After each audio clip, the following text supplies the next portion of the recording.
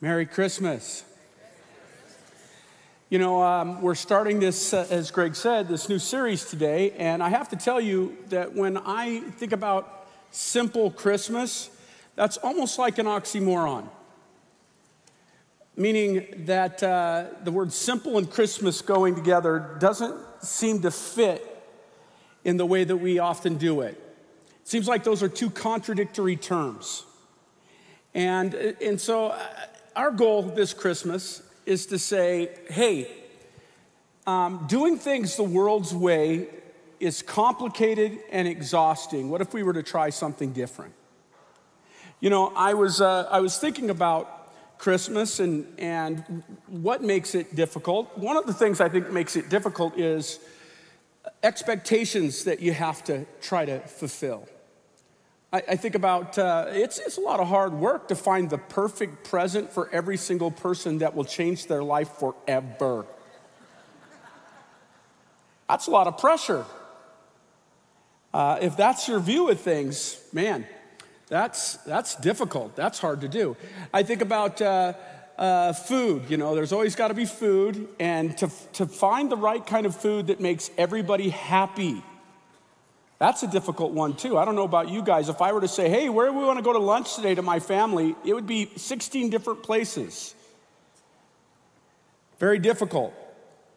You know, I, I think about um, the relational complexities of Christmas. I mean, even in a, every regular family's got their issues, and, and, and, there's complexities that are built in. I think about my family. I have three sons. Uh, they're all married to three wonderful ladies in this area, and they all have their families. So how do I, how do we have Christmas?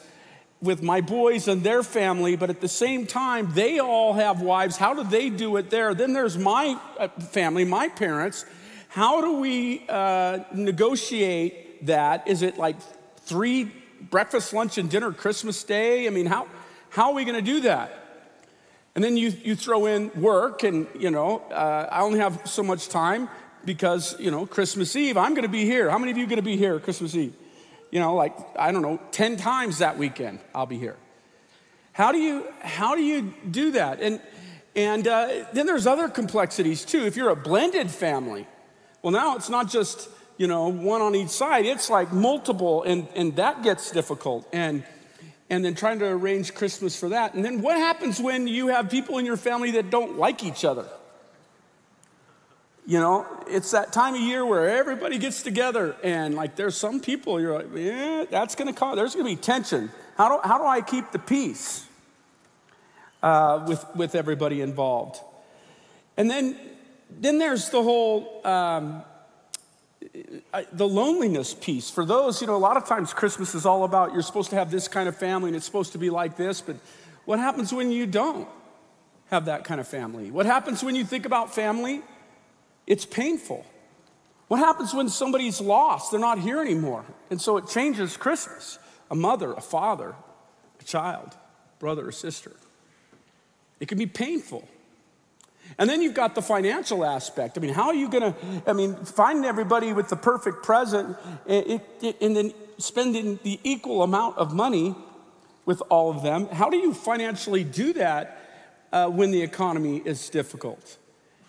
And so, do, do, you just use all your savings? Do you not pay bills? Or you use your credit card? And then you got the stress that this, uh, it's stressful enough Christmas, but it carries over sometimes too in trying to pay off all that stuff that that was going to change their life that they played for, with for five minutes and then moved on. Boy, I'm depressing today. right? I mean, the truth is, though, it is exhausting to celebrate Christmas the way we currently do it. Manage all those expectations.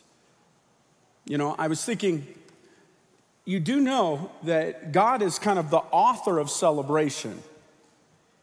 Um, sometimes we think, well, then we're not going to celebrate it. We're not going to do this. We're going to just get rid of it all. Uh, you know, uh, no, I think there is something to celebrate here, and, and God thinks so too.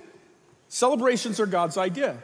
If you go to the Old Testament, um, you remember the story in Genesis? It ends with jo- uh, Joseph being in Egypt and he's second in command. But as time goes by, the Egyptians are threatened by the numbers of, of uh, Israelites and they make them slaves. And then it gets really rough. And then God sends Moses to these people. And remember, he had said to Abraham years before, through you, Abraham, all the nations of the earth are going to be blessed. You're going to have all kinds of people in your family, and it's going to become a nation.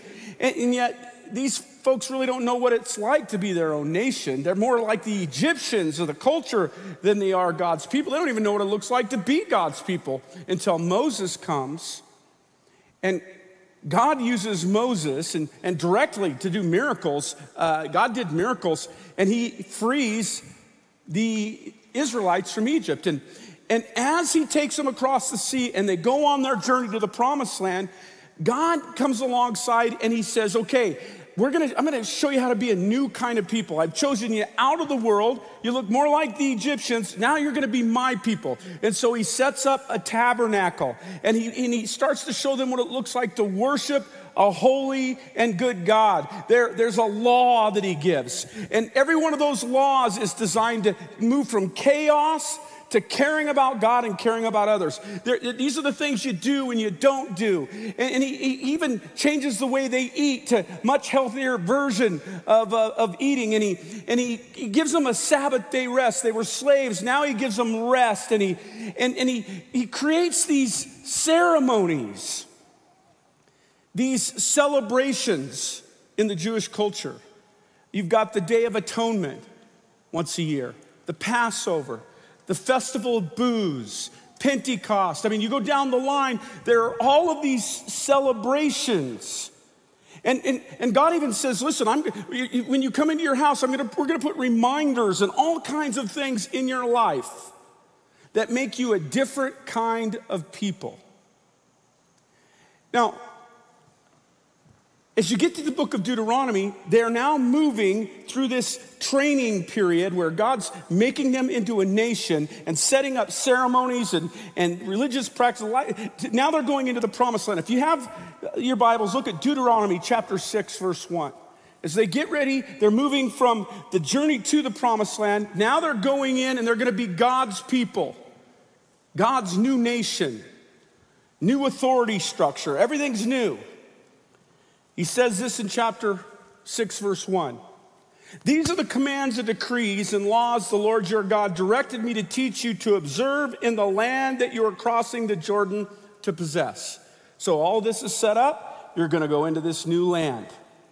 He says, verse 2 so that, notice this, so that your children and their children after them may fear the Lord God as long as you live by keeping all the decrees and commands that I give you, so that you may enjoy long life. All right, so you're getting this idea.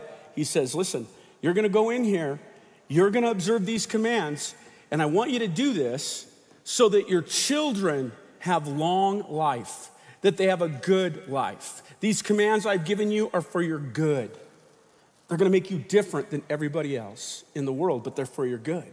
Notice what he says, verse 3 Hear Israel and be careful to obey, that it may go well with you, and that you may increase greatly in the land flowing with milk and honey, just as the Lord, the God of your ancestors, promised you.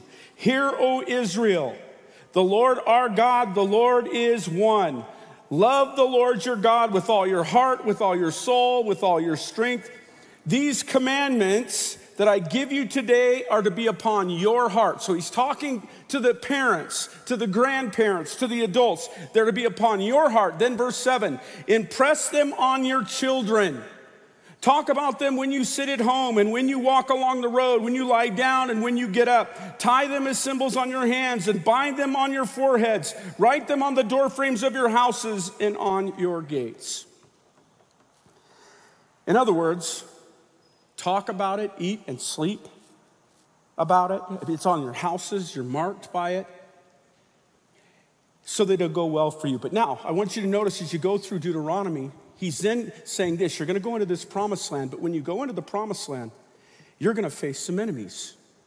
If you get to Deuteronomy chapter 8, he says this When you go into this land and you live in houses that you did not build, and you eat food that you did not plant, when you go and live in the blessing, I'm going to push these folks out because of their evil behavior. I'm going to give you a new land. When you get there, look out. He says this be careful. That is the time to be careful. When? When you're eating and you're drinking and you're, you got your houses, that is the time to be careful because you will say in your heart that you did this with your own hands. It was by your own strength. Here's what he's saying to them First enemy you're gonna face when you go into this promised land is an internal enemy, and it's pride.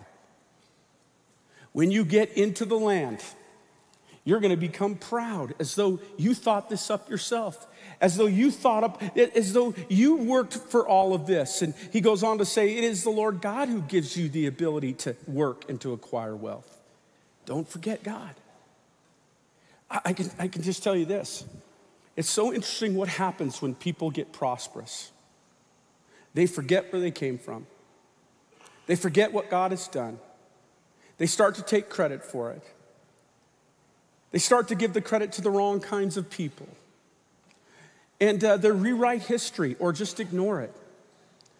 You know, I, I want you to understand this that he's giving these laws and these commands, which include celebrations, commanded celebrations to help them remember. He says, You need to remember as you go into this world, people are prone to forget. And what they once worshiped, they worship something new, a God that they create with their own hands. They, they, they, they're prosperous enough to build something they like, and then that takes over. That becomes the point. And then, then it just becomes an empty celebration. I think about in our country, I mean, just some examples.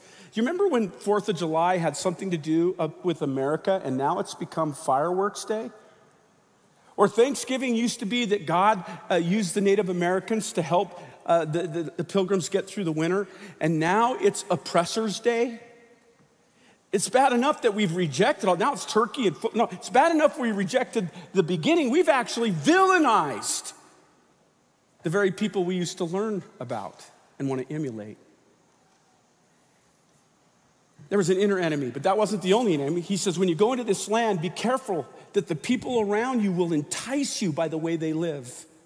By the way, those, those people were uh, following false gods who demanded things like child sacrifice, like temple prostitution, where, for children, where you, were, you had to dedicate your own child to the temple to be used for sex for a year. When God said, You go into here, these people will celebrate and they will, they will do all kinds of things that'll be enticing to you. Be careful. Remember, eh, teach your children to remember they're going to have a culture that's built around celebrating the wrong things. So you're to have the Lord God be first and you're to impress this on their children because they have an internal pride enemy, but they also have a, a culture that entices and distracts and distorts. But then he closes when he says, hey, these false gods that they worship are actually demons, demonic forces represented by these idols. So not only do you have an internal enemy, not only do you have a cultural enemy, you actually have a spiritual enemy. That it's not, it's not going to be a live and let live sort of a thing. The people who are being led by these demonic forces are not going to be just okay with you doing your thing. No, the, the enemy is always attacking the righteous. He will never just let you be. So you have to have your children ready when they get into this culture. And that's what the laws and the commands and the celebrations were all about. These rhythms in life, the weekly rhythms of Sabbath, where you spend time with God, the, the, the national celebrations, the lifestyles, all of it designed around people and the needs of people to remember because we so quickly forget. You get to the New Testament, um, you might say, well, yeah, okay, the New Testament, Jesus comes, the Old Testament prophesied, the Messiah comes, And, you know, now we don't need celebrations anymore, except for no, that's not what the Bible actually says. You do know that the church gathered together on the first day of the week as a regular rhythm of celebration. In fact, one of the celebrations we'll do in a little bit is that's what communion actually was. God, oh, we had the Holy Spirit, we have the Word of God. People are still people. We still have an internal enemy, we still have a cultural enemy, we still have a spiritual enemy. Uh, we have a celebrations in the New Testament that were weekly. In fact, it was the Passover meal when, which was celebrated once a year, where Jesus actually took bread and broke it, and, and, and he said, This is my body given for you. And he took, and he, he said, he took this celebration at Passover and said, No, now there's a new covenant in my blood. And, and the early church started meeting once a week to celebrate Communion was a part of the early church's meetings. In fact, many times, multiple times a week. Why did they center on this communion sort of celebration and remembrance? Again, people forget. The early church had different kinds of things that they would celebrate Easter, they would celebrate Christmas. Now, at first, it was underground because it was illegal, but when Constantine comes around and he, he says, now Christianity is legal. And so they started having a celebration. In fact, the first nationwide, kind of worldwide Christian celebration started in 336. It's called Christ Mass. Mass being a, a, the sort of the version of the church coming together centered on Christ. And, and why'd they do that? Well, they were celebrating the birth of the Savior, and it was really very simple. It was really very simple. It became one of those times in a year. You had communion weekly, but it was one of those times in the year that they, they recognized the truth that the King of heaven took a human body and came down. God the Son was sent by God the Father to come and reveal the heart of God to you and me. The condition that He saw us in. Oh, I'm as good as that person, or I'm, I'm pretty good. I'm, uh, we're, we're a good people. And God said, Let me just tell you your condition. Your condition is you're in darkness, you're confused. Oh, you're used to it. It's normal for you, but that's not how I created you. You're dying. You're using all kinds of things to cope.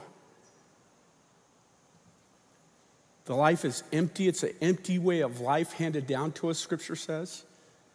It's not what we were created for. Christmas was to reveal very simply Easter was to reveal very simply that we are in need of a Savior, and God was willing to give one at His own expense.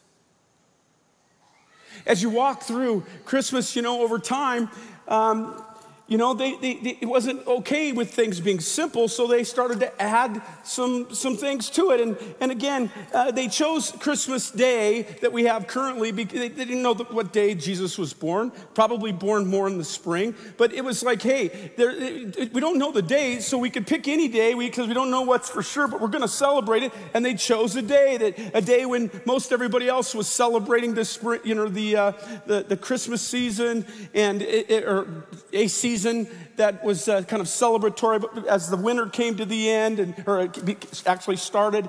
And so they just chose a day. And it doesn't really matter what day they were going to celebrate the day. And, and it started out with this christ mass but then you know they started going you know what? Let's add a little of this and let's let's add a little of that. And a lot of it's not, not a problem. I mean listen no big deal. They, but they took a tree that was more of a pagan thing and they went we're going to dress it up and, and we're going to make it we're going to christianize it which I have no problem with. I mean, the pagans do all kinds of stuff. Let's take it and let's make it, let's center it on Jesus. And so uh, we did. And, and that's fine. It's great. The lights, they, they did that too. And, and here's the deal if you ever wanted to know what those things mean as a Christian, you can go look it up. But, but, but oftentimes, like Fourth of July becomes about the fireworks, Christmas becomes about the tree and the lights, and most people don't even talk about what those things actually mean from a Christian perspective. It, it, the Christmas tree is just for kids, it's where the presents sit.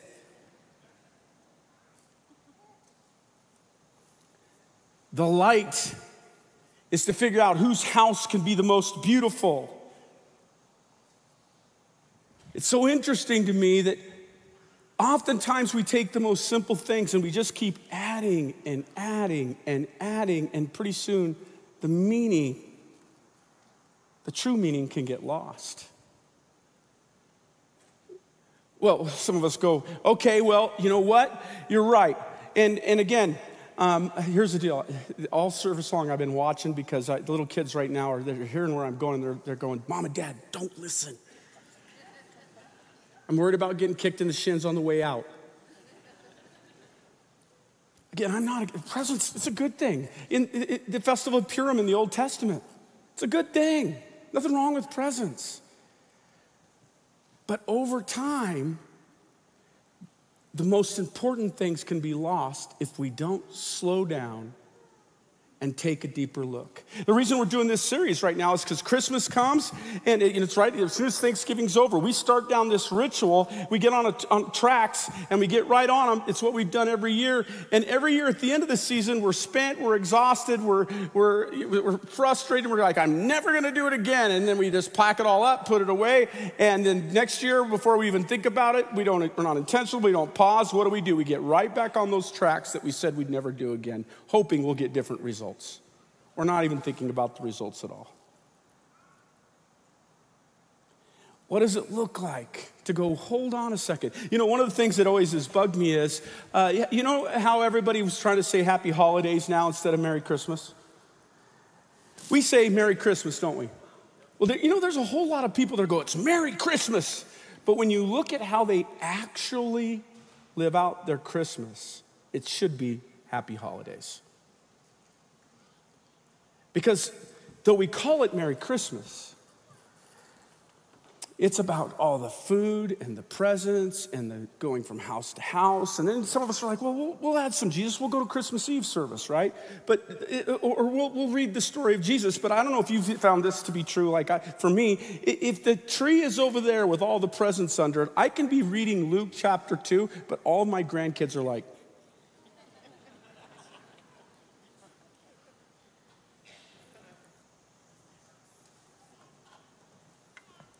Can 300 hours of Christmas in the culture be counteracted by 15 minutes or even a Christmas Eve service?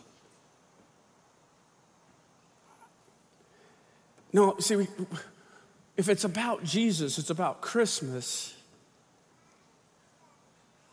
It, we kind of set ourselves up for it. You know, the first question that a little kid is asked when Christmas comes is oftentimes, what do you want for Christmas? That's your first question that you hear. As you get older, you realize it's not just what I want, but I do want some stuff. What do you want? So it becomes this time where I'm trying to give you a present. You're trying to figure out what I want. It's all about you and me. But what if Christmas was about what does Jesus want?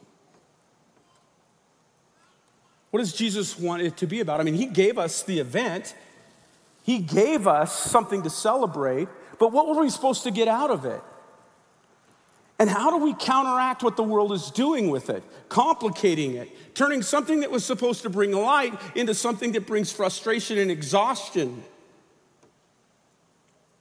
What does God want for us? Every gift He ever gave, and this is the biggie Jesus. God the Son in the flesh, He gave it to us for a purpose. And it's not easy to get across to our families, to impress it upon, to, to have it be for us the center of our attention, let alone impressing this upon our kids. But right now, more than ever, they need it. We live in a world that's all about what I want or what somebody else wants. It's all human in nature. Us trying to figure out how to make ourselves and other people happy. But unless we have a relationship with God, the Spirit of God, the people of God, unless we are walking in the light of relationship with Him, it's just so meaningless and exhausting and empty. But when we walk with Him, when we receive that present, when we spend time reflecting on what Christmas is all about, and when we impress it upon our children, it becomes a foundation block to be able to build our houses, our spiritual houses on, so that we can withstand storms and problems and economies and bad leaders. And because this world isn't all there is. What does Jesus want? Well, it's very clear. Isaiah chapter 7, verse 14 says that his name will be Emmanuel, which means God with us. See, he was he created us to be with him, and his desire is to restore relationship with him. And so he has left heaven. He left God the Son he was the Word, and the Word became flesh and dwelt among us. Why? The light came into the darkness. He came to present Himself to us as a form of, I want to be in relationship with you. And He presented Himself for who He truly is. And that's, that's, no, that's really kind of uh, highlighted in the Christmas story. Do you remember when the angels said to the shepherds, the shepherds were guarding their sheep at night in the dark. They weren't treated well by the culture, they were necessary, essential for all the ceremonies, but they were kind of pushed out, uh, stinky, smelly, you know, farmers out there that the rest of society didn't want anything to do with. And they're out there by themselves, excluded from most of the culture. And an angel of the Lord came, and, and the glory of the Lord shone around him. And, and they were terrified. Why were they terrified? Well, because normally we just compare ourselves to other people. I'm as good as that shepherd. Well, I'm as good as. Why aren't you? No, God just revealed himself through the angels, and it, it shook them to their face. They were terrified in the presence of a holy God. And their problem became very clear He's holy, they're holy, we're not. And the angel said, Peace to you, peace on earth, to whom his favor rests.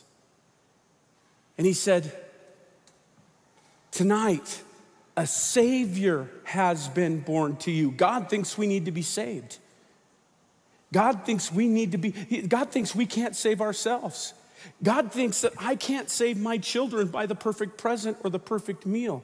God thinks that, that I couldn't handle the pressure, I couldn't fix it. Other people can't save me either. This human experience that we've turned it into, it doesn't save us. Every time we try to do it ourselves, it just makes a bigger mess. It's empty.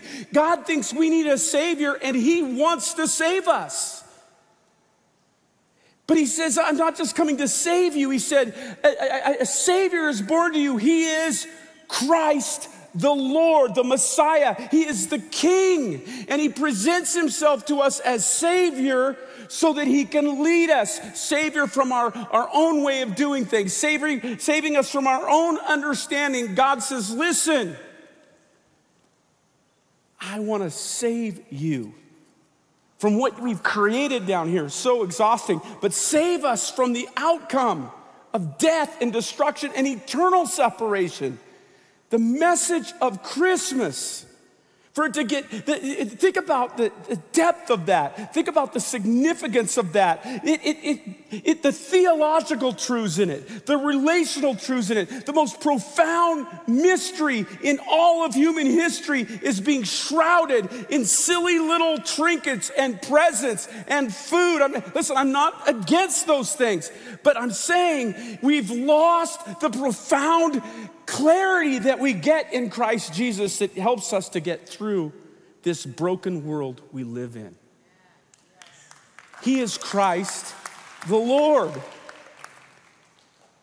And no one will be saved apart from his saving.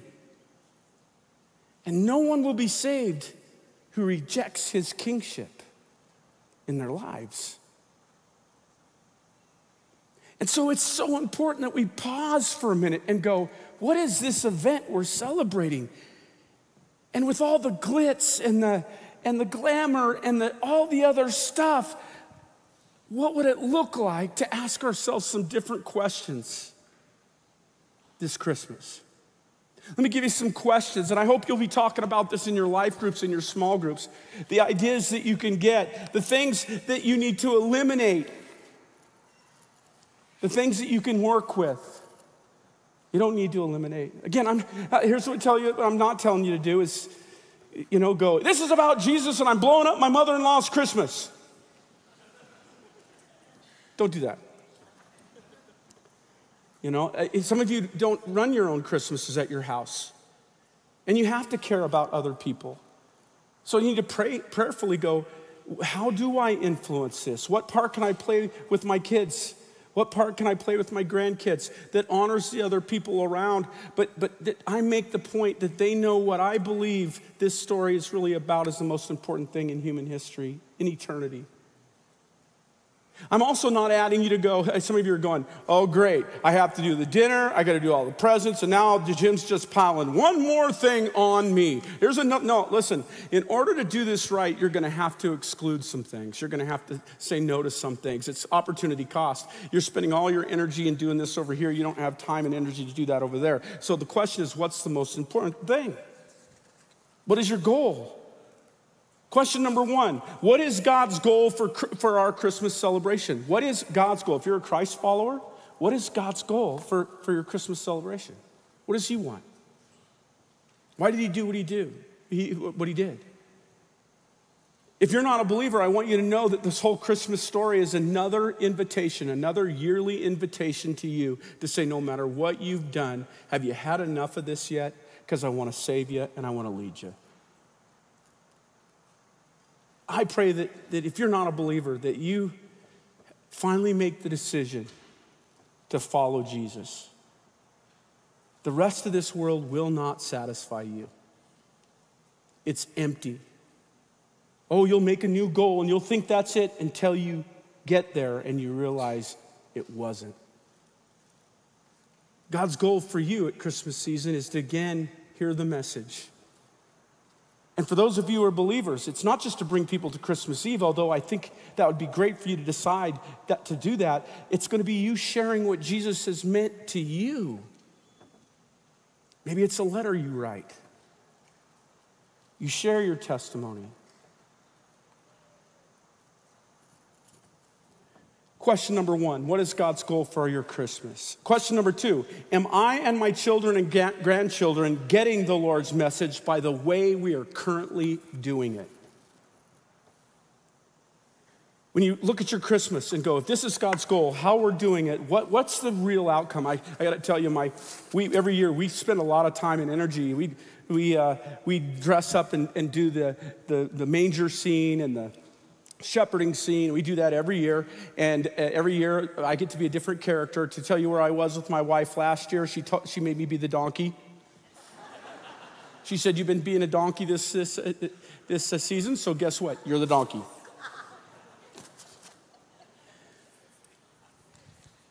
We do this every year. We try to do this, and yet it, it, we have got to, sometimes we forget that the world and the pressure and all those things are even impacting little minds. Uh, I have this uh, four-year-old, just four-year-old little granddaughter, and her name's Ellie, and, and uh, Lori and I were talking about, you know, we, we think we do pretty good, but let's, let's just make sure. So Lori uh, the other day said, hey, Ellie, what is Christmas about? And Ellie, four years old, went, presents!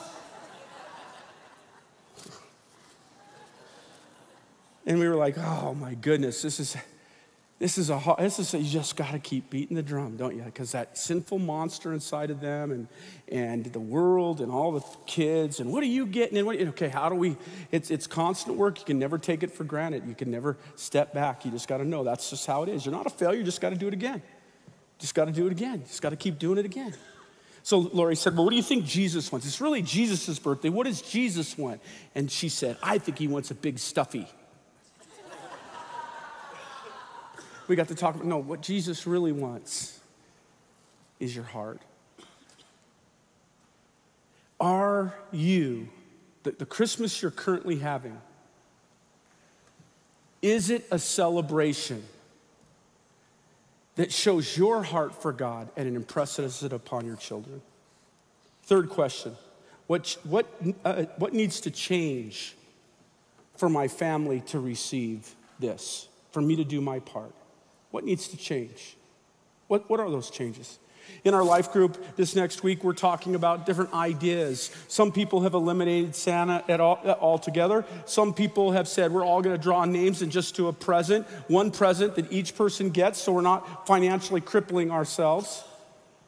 Uh, some people are doing a birthday cake for Jesus. That's one of the things that Lori and I have done for years. Uh, the, uh, the, the calendar, the Advent calendar, the, the season. What movies could we watch that, uh, that reveal the importance of what Jesus did and how he changes lives? What are, the, what are the things we can do during this season to make sure at the end of it, our energy our energy was focused towards important things. And we maybe eliminated some of the things that cause stress and ongoing frustration. Now, again, is that entirely possible? No. Wherever there's people, there's problems waiting to happen. I always say this wherever I go, there I am, and my, I'm my biggest problem. But as we prayerfully consider this Christmas?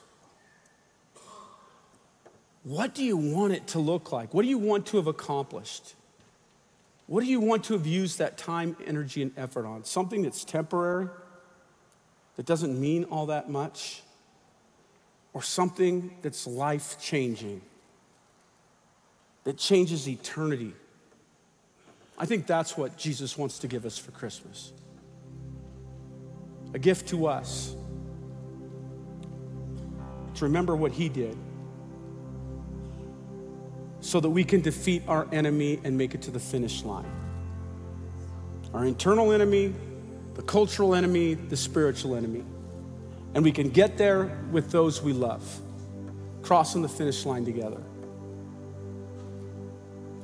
We're going to take communion together, and this is a celebration, a weekly celebration profound. God moved it, the, the uh, uh, Passover celebration, which was done once a year, to a weekly celebration. Why? Well, because He knows how often we forget. We get to remember what Jesus came to do. I hope that this is a communion service that you can participate in in this way. If you've never received Jesus, today could be the day where you say yes to Him and you're obedient to Him and you allow us to share with you what, is it, what it means to become a disciple of Jesus.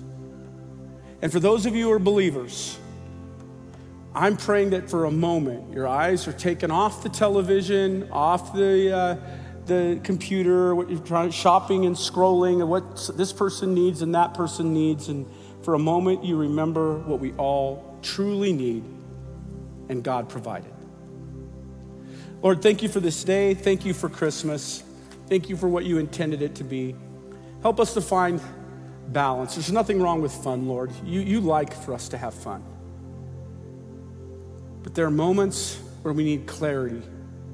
You, you gave us something so important for this season, and we need it now more than ever.